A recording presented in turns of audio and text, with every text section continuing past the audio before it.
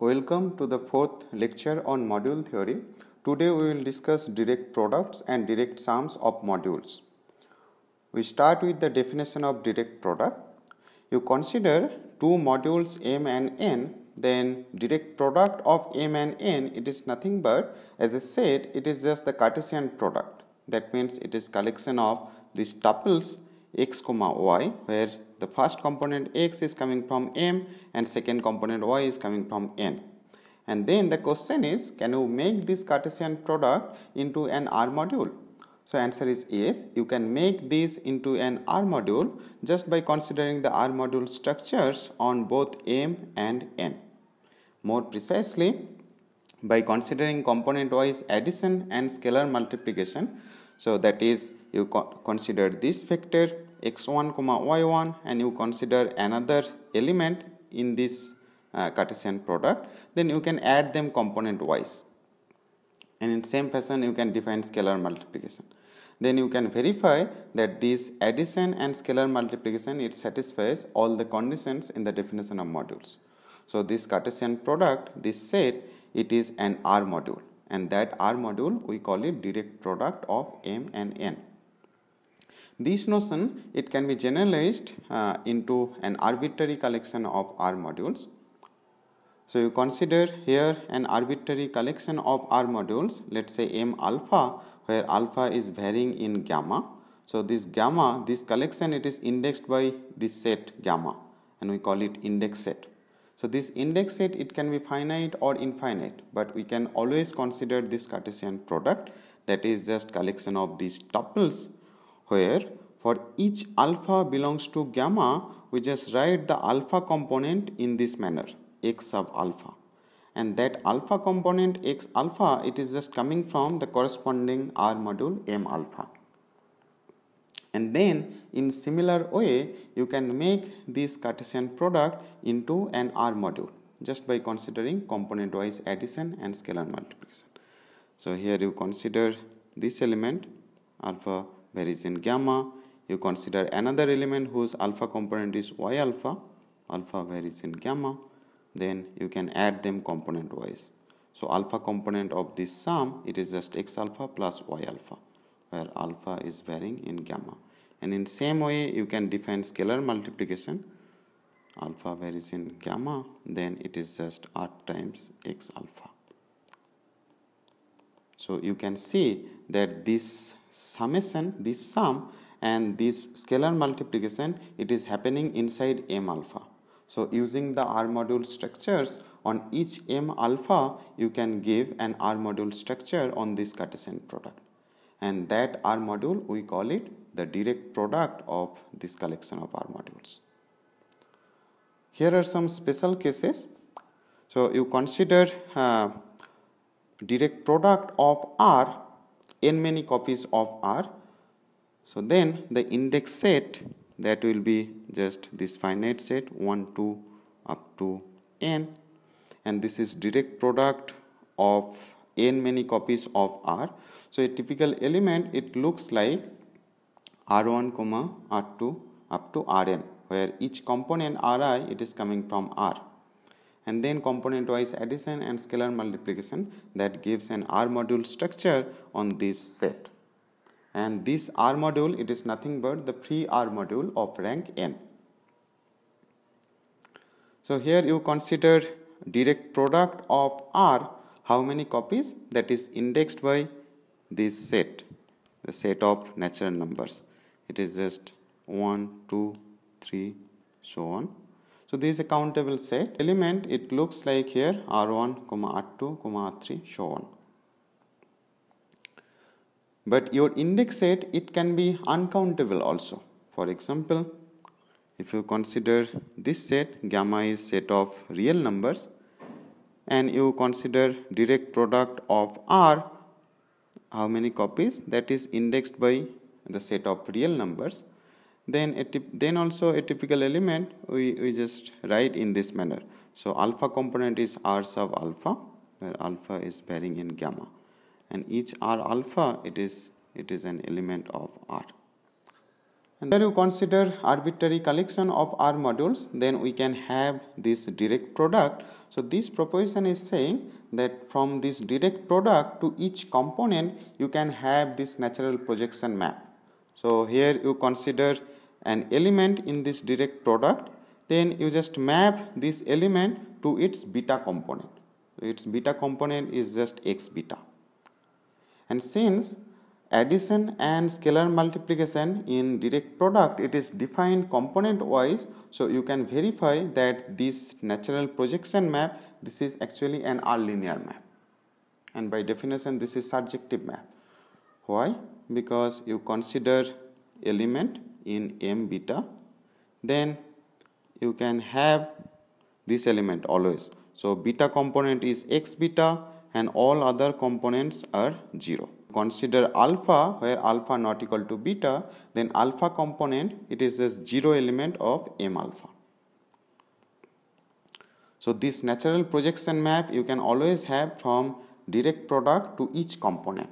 And we use these natural projection maps to see that this direct product along with those natural projection maps uh, this satisfy the following universal property so here you consider arbitrary collection of R modules, then you can have this direct product along with this natural projection map. So this proposition is saying that you consider any R module M and suppose you have some arbitrary uh, collection of R module homomorphisms from M to each M beta then you can have a unique R linear map from that R module M to the direct product such that this equality holds.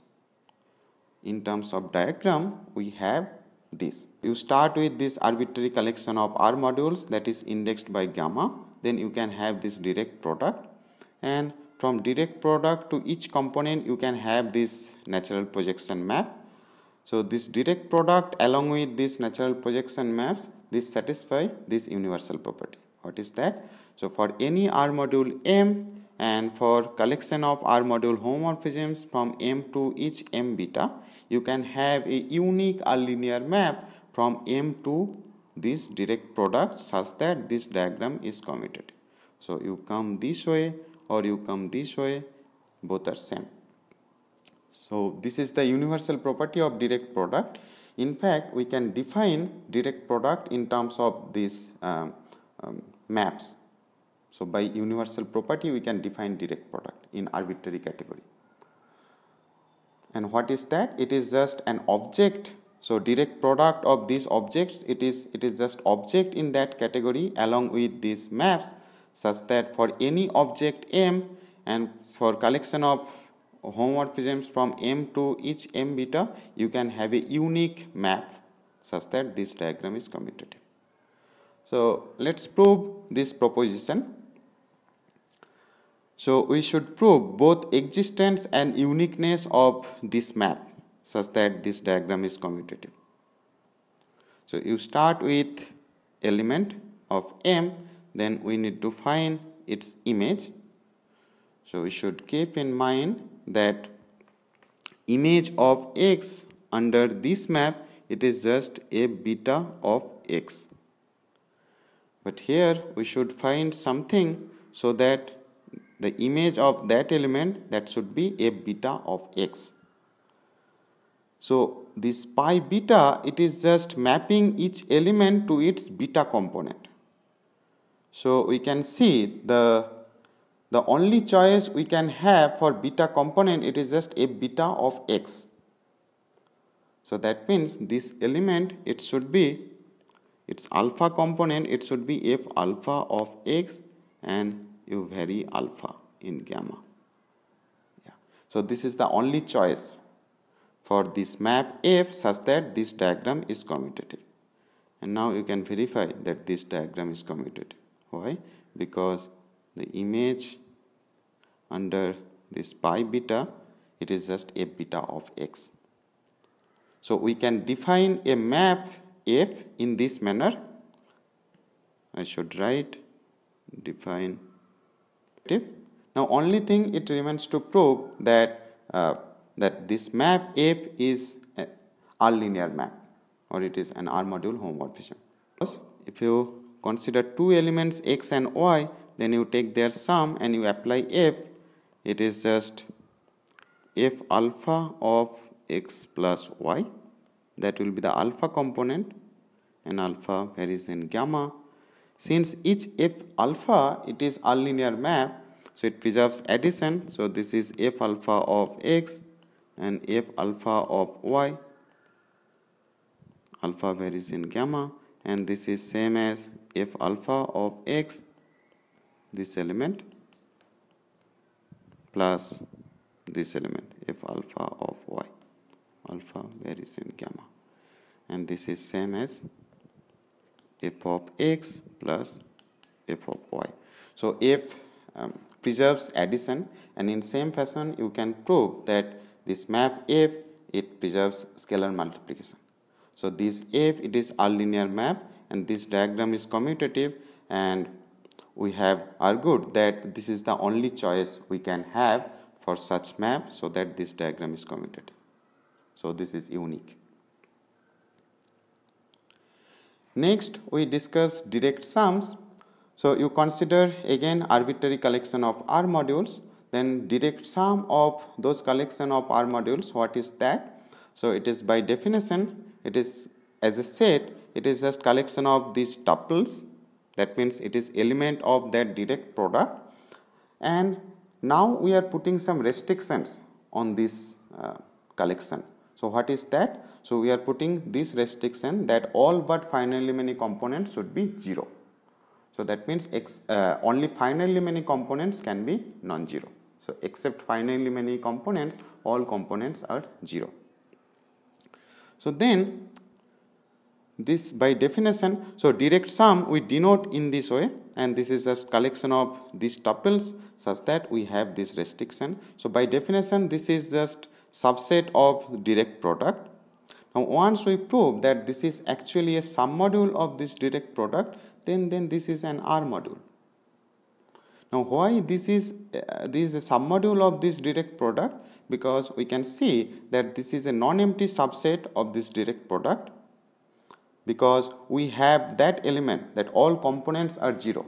So alpha component x alpha, if you take it 0 element of m alpha, then that element it is always there in this set. So this, this is a non-empty subset of this and then you can uh, prove that this is closed under addition and scalar multiplication. So you consider two elements, one is x alpha such that you have this condition that uh, only finitely many components can be non-zero and you consider another element y alpha, alpha varies in gamma such that you have that only finitely many components are non-zero then you add them then you have same property that only finitely many components are non-zero. And in same way you can prove that this is closed under scalar multiplication also. So this is a submodule of this direct uh, product and that that means uh, it itself is an R module and that R module we call it direct sum of this collection of R modules. So we have already noticed that by definition direct sum it is just submodule of uh, this direct product and we have equality here if and only if that index set is finite. So that means if you consider finite collection of R modules then it's then their direct sum it is same as direct product. Now in case of direct sum we consider this natural embedding so from each component, from each m beta to direct sum of this collection of modules, you can have a natural map. And what is that? So you x beta, I should write just x beta. This is an element of m beta and then its image we just denote j beta of x beta. And what is that? So by definition, it's beta component beta component is x beta and all other all other components are 0 yeah. So alpha component where alpha not equal to beta that is just 0 element of m alpha. So thus you can have this natural uh, embedding. So this is injective by construction and you can verify that this is R module homomorphism because addition and scalar multiplication here it is defined component wise. Now using this natural embedding map we will give the universal property of direct sum. But before that we should uh, have this remark. So you consider an arbitrary element in this direct sum and then you can see that that element you can write in this manner. So what is that? I should take this particular uh, example. Suppose your index set gamma is uh, this set of natural numbers. Then uh, any element it is just uh, you write in this manner x1 x2 so you are considering collection of these r modules m1 m2 m3 so on. Then their direct sum any typical element in the direct sum of this mi it is just x1 comma x2 so on up to xn and all components are 0 so n plus 1 onwards all components are 0 because we have that restriction that only finally many components can be non-zero. So then you can write this as x1 this plus 0 comma x2 so on. So this first element it is nothing but j1 of x1 and second element it is just j2 of x2 up to jn of xn. Yeah. So that means each element of this direct sum i varies in this each element of this direct sum you can write in in terms of this finite sum. Yes so this observation it justifies the terminology of direct sum. Why we call uh, this as direct sum. And next we should have this universal property. So you consider arbitrary collection of R modules and then you can have this direct sum. And from each component m beta to direct sum you can have this natural embeddings and then this proposition is saying that this direct sum along with this natural embeddings they have this universal property. What is that? So for any R module M and for collection of R module homomorphisms from each m beta to m you can have a unique R linear map from direct sum to that module m so that this diagram is commutative. So you start with uh, here an element of this direct sum alpha varies in gamma then we need to find an image here so that this diagram is commutative. So then you can see that an obvious choice it should be that we can take this sum of f alpha of x alpha. Why? Because we have this collection of maps and each x alpha it is just element of m alpha then we can use the map f alpha so that that f alpha of x alpha that is an element of m and then that sum it makes sense that can then it seems that this is infinite sum but we have that restriction in the definition of direct sum that only finitely many components can be non-zero so it is actually a finite sum. So here you are varying alpha in gamma f in this way. Now we need to verify that this f uh, it is a linear map and this is unique. So why it is uh, linear? So we should prove that f preserves addition. Will consider x alpha, alpha varies in gamma. And you consider another element let's say y alpha alpha varies in gamma. That is sum of f alpha of x alpha plus y alpha. And in this sum this summation it varies in over gamma and since each f alpha it is r linear so you have this. And in same way you can prove that f preserves scalar multiplication also. So this map f it is r linear map. And by construction this should be uh, commutative. Why?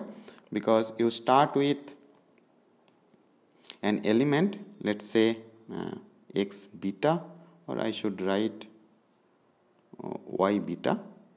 Then its image here it is just j beta of y beta. Then by definition of j beta so this is just uh, this element. Its beta component is y beta and all other components are 0 y beta. Then via this map f you are just getting y beta because only beta component is there and all other components are 0 so in this sum you have only one element that is f beta of y beta. So you can see that this diagram is commutative.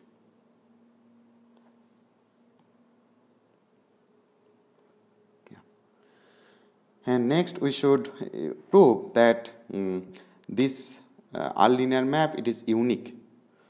So I, I should leave that thing as exercise. Again or or you can use this. Yeah. Each element here you can write in this manner. So you can use this to prove uniqueness. So that means if you have another map let's say uh, G here such that this diagram is commutative then f should be same as g. Yeah. Yeah next we should see the relation between direct sum and usual sum so we have discussed what is usual sum. So you consider two submodules let's say n1 and n2 of uh, m. Then that usual sum n1 plus n2 it is defined. This is the by definition this is collection of this kind of elements x1 plus x2 where x1 is coming from n1 and x2 is coming from n2 and then you can uh, prove that this is a submodule of m and that is the usual sum of n1 uh, and n2 but n1 and n2 individually they are r modules. So you can take their direct sum. So this n1 direct sum n2 from this direct sum to usual sum you can have this map always. So here in this direct sum an element it looks like this tuple where first component is coming from n1 and x2 second component is coming from n2 then you can add them. So this map you can always have and by construction this map is always surjective and this is an R, R module homomorphism. But this uh, statement, it is saying that this is isomorphism. So that means extra thing we are having here that this map is injective. So this proposition is saying that this map is injective if and only if the intersection of n1 and n2 uh, this is trivial. And third statement it is saying that each x in this usual sum that can be written in this manner that is just by definition but this third statement it is saying that you can write each element in this manner uniquely. Uh, trivial. So you pick something from that intersection. Then you can see that x comma 0 that is an element in this direct sum. Because x is there in n1 then its image it is x but you can consider this element also 0 comma x. That is also an element in this direct sum because x is there in n2 as well. And its image is also x via pi. Since pi is injective that is the first statement so these two elements they should be this should be same.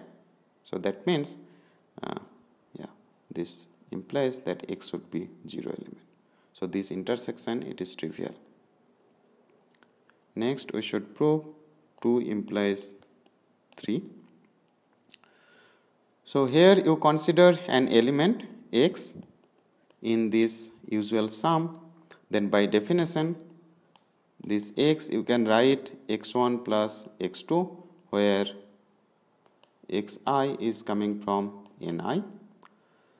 Suppose you have another expression. So suppose you can write x in terms of this sum y1 plus y2 where this yi is also coming from ni. So we need to prove uniqueness here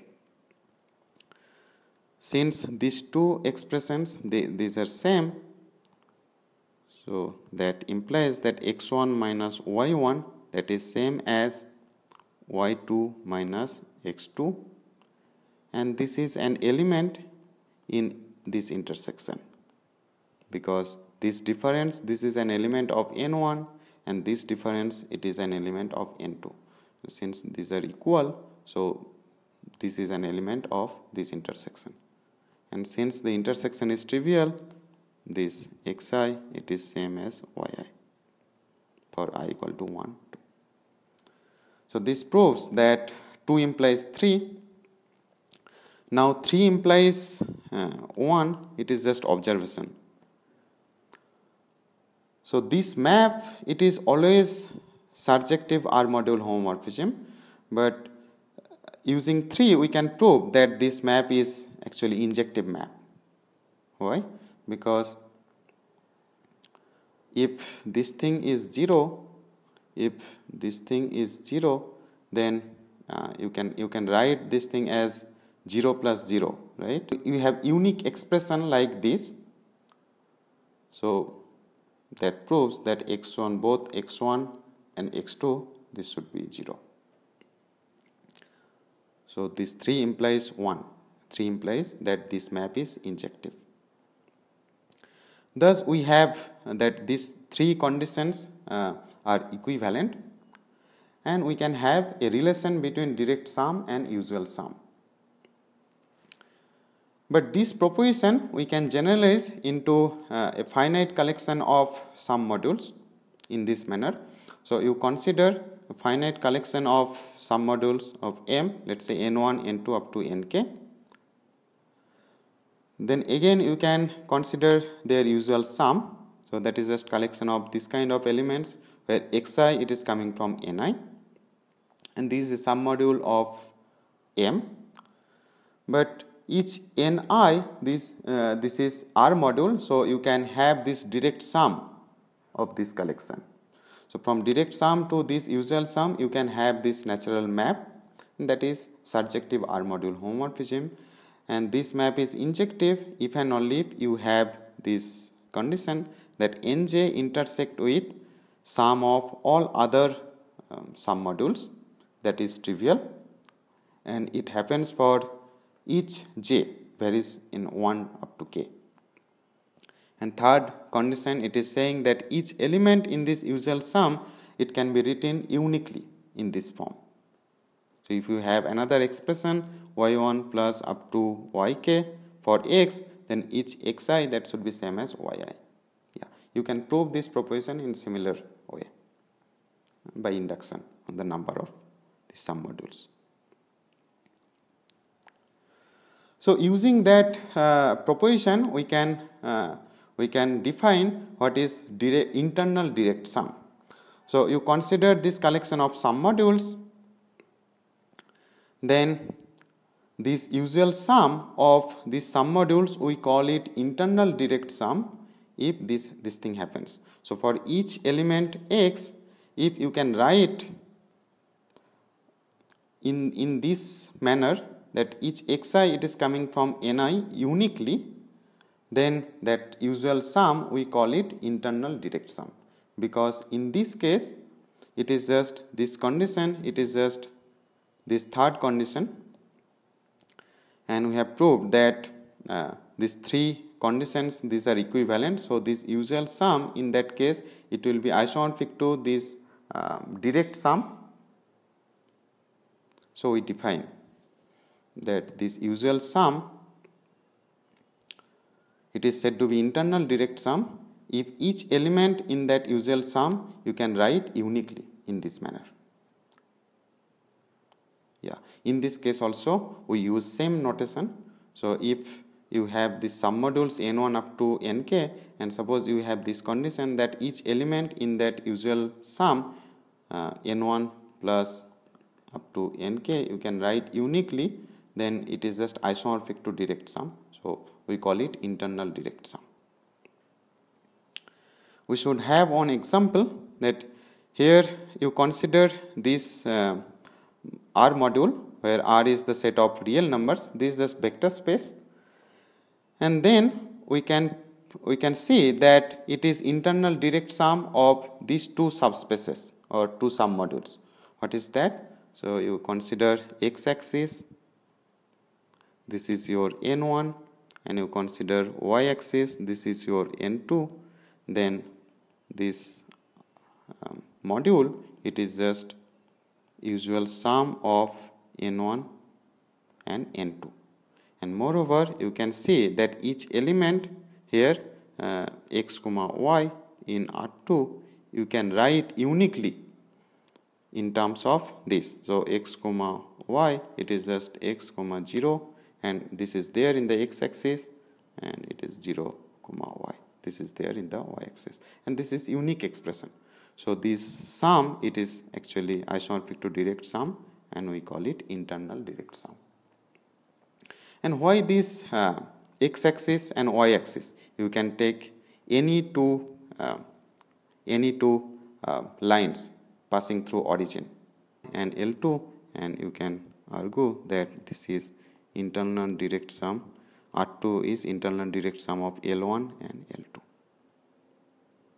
I'll stop here.